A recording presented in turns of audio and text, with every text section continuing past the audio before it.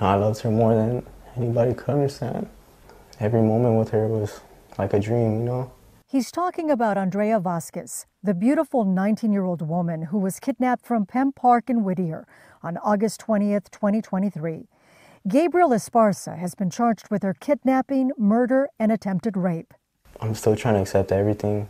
Andrea's boyfriend is speaking publicly about that horrific night for the very first time. He and Andrea were hanging out at Penn Park when suddenly a truck pulled up and the driver opened fire on them. I ducked, and that's when I realized Andrea had been shot.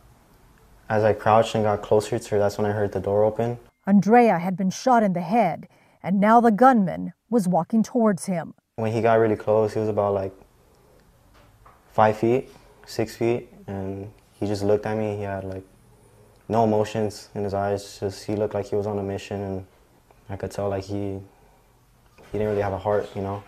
Andrea's boyfriend quickly ran, looking for help, telling a couple at the park to call 911. I heard uh, his tires skirt, and that's when I realized that he took off, and I ran straight back to check on her, and like she wasn't there. I still feel like I'm in denial a little bit. Um, it just doesn't seem real.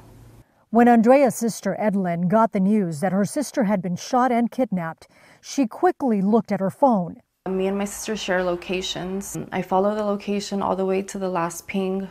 I get there before any cops. I get there and all I see is um, a pile of uh, blood. Back home in Downey, Andrea's family and her boyfriend had contacted the local police department, begging them to go after Andrea. They had her location. They say you you have to go to Whittier Police, and I say I can't even drive. I, I was shaking. I can I cannot drive, and they said then you have to wait till they come here.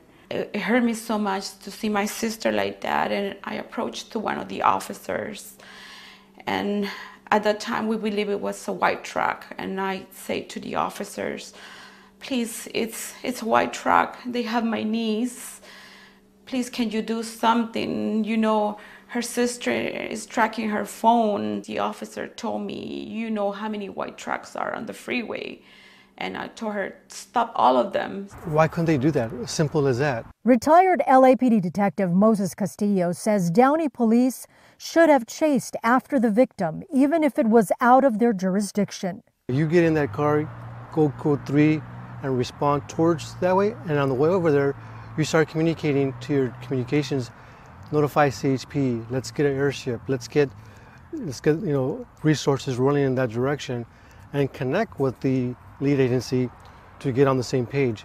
Downey Police issued a statement that says in part, the Downey Police Department became involved in the investigation on August 20, 2023.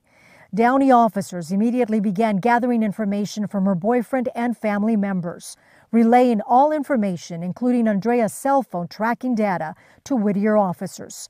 The investigation continued round the clock. However, sadly, Andrea's body was later located in a field in Moreno Valley. She didn't deserve this at all.